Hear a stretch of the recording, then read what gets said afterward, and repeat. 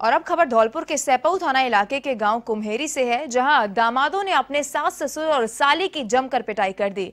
पिटाई से सास ससुर और साली गंभीर रूप से घायल हो गए हैं, जिनको घायल अवस्था में सैपऊ के सामुदायिक स्वास्थ्य केंद्र पर भर्ती करवाया गया है।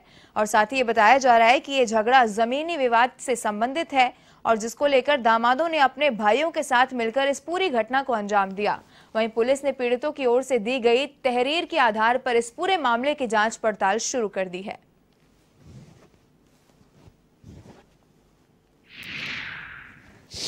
तो बहन भी आई थी। तो मैं एक बहन चली गई थी मेरी।